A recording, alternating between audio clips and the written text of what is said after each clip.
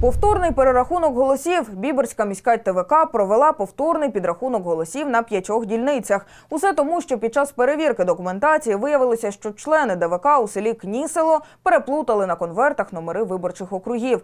Також були написані прізвища кандидатів, яких не було у бюлетнях. Повідомляє громадська мережа Опора. А от з дільницях в селі Суходіли Квітневе привезли погано запаковані бюлетні. Через це теж відбувся перерахунок. Натомість, під час перевірки виборчої документації з однієї з ДВК Біберки виявилося, що кількість голосів за деякі політичні партії кандидатів місцевих рад не співпадали із загальною сумою. Чимало проблем з бюлетнями і документацією було і на дільниці в селі Трибоківці. До речі, Славська селищна ТВК також вирішила провести повторний підрахунок голосів на п'яти виборчих дільницях через неточності у протоколах.